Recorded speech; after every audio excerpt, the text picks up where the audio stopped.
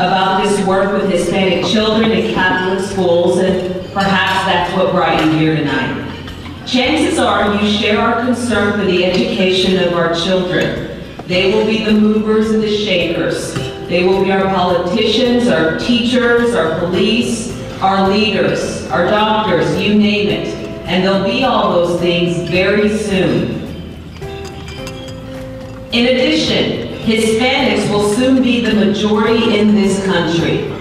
And with that comes a huge responsibility. It is not just a number, it is in fact a grave duty for Latinos. And that is why we are here tonight. The population of Latino children continues to grow, yet only 16% of 18-year-old Latino students are considered college ready. 18%. Do the math, that's only one in six ready for college. And that is frightening.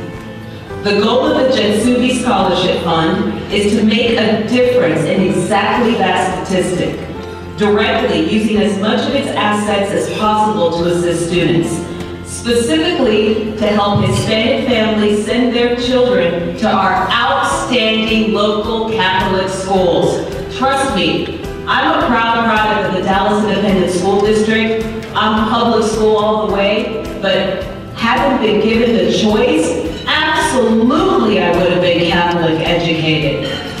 Catholics and the education that goes with it, how many of you know someone who has a Catholic education? Raise your hand. They're smart, aren't they? They're smart. I work with one, John McKay.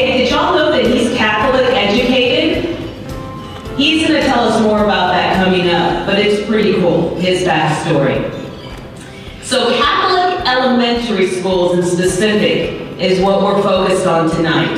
The Jethsuby Scholarship Fund is one of only a few scholarships offered at the elementary level when fresh young minds are most open to the world of ideas and faith, a time to build good learning and study habits, and a time to build the foundations of a lifelong faith.